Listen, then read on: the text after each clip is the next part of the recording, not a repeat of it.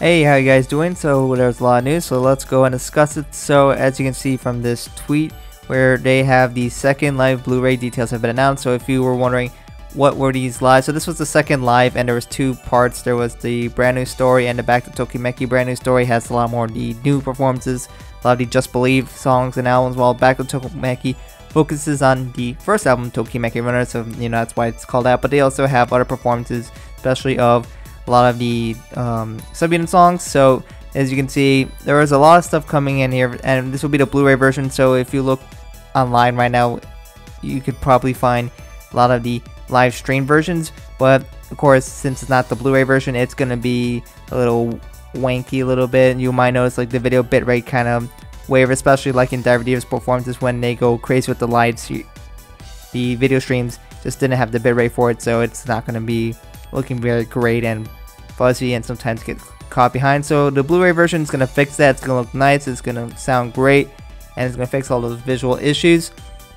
So it's going to be really great to have that, especially during these times when they weren't able to get the most perfect live streams going. So having these is going to be very nice. Of course, on top of that, there are a bunch of other things like behind the scenes. You get the girls talking to you, discussing things and how things happen, which is going to be nice. And there's going to be a lot of other things incorporated into that. So this is going to be a great thing to have. Following that, they announced during a live stream, which they had a live stream with DiverDiva discussing that the Nijigaku anime Blu-ray will come with new unit songs. So this is going to be the Blu-ray for the anime and not the Blu-ray for the thing right before I just mentioned, which is strictly for the second live. Now, if you're wondering if this is something that's unheard of or brand new, it is absolutely not. This has been done for Muse and Aqours, so you can expect one song from each as well as an off vocal. That's been done as a bundle with all the Blu-rays from the previous anime, so you sh should expect this, and it should be one song each.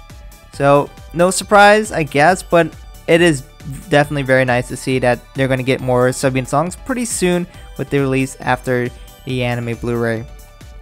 Lastly, there's this piece of news, but you know it's all in Japanese, and it actually it's better just to discuss it when I get to show you a page. So they're going to have this live stream where they're going to have the girls from Nijigaku be able to sing songs from the other girls. So what exactly do I mean by that? So for example, in this poll, which is going to be all the way until November 10, you can choose every girl to sing a song from the Tokimeki Runners album, plus Light of Determination, which is Ketsui no Hikari, which is Shioriko's only solo song. So you could say, I want Ayumu to sing Starlight or Meccha Going or something like that. So you can go ahead and vote. I'll give you a link in the description below. Where you can vote for every girl and you want like, you know Kanata, she needs to sing Chase or something like that. Or maybe Setsuna needs to sing her Kanata's song, which is really very opposite. Maybe that won't win because they also want to give an explanation, but I guess it's up to them how they decide who's going to win.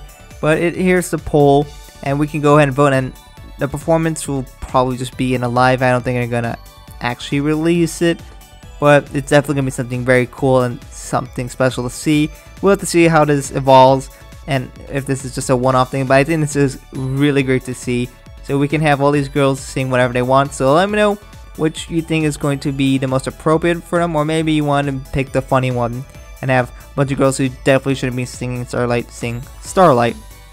So that will be a really fun and just a really cool experience for them to really explore. So yeah, I think this is great, and you know, I'm just really excited to see how this goes. So again, this is only limited to the Tokimeki runners plus Ketsui no Hikari, so everyone's first solo song. As a reminder, the stream will happen on March 20th, so look forward to then once that is going to be out, and we will have some fun with that.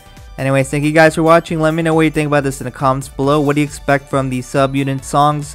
It should be one for each, unless they are going to change it for some reason. And who are you most excited to see for? Are you excited to see more QU4RTZ, Diver Diva? How about AZUNA? Do you think they're going to take a completely different direction than they did with their first songs? I'm really interested to see how AZUNA works because I know most people agree AZUNA definitely was the weakest of the three overall.